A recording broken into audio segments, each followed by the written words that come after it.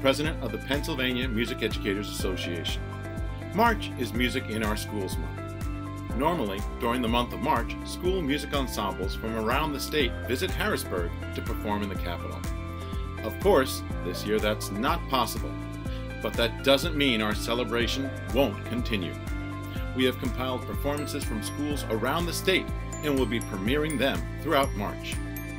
Even though music ensembles might look different during these times, the passion, excellence, and inspiration is still evident. We hope you enjoyed today's ensemble, and we thank you for your support of music education during Music in Our Schools Month and all year long.